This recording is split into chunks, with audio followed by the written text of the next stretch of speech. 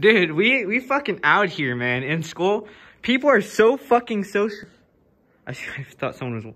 Dude, actually, they probably have cameras in here. I probably shouldn't even be cussing. Just recording. Hang on. I'm actually the janitor here. Uh, rinse, rinse. Nothing really comes out. I don't have... Whatever, man. I got the stapler. What's up, Mr. Bowler?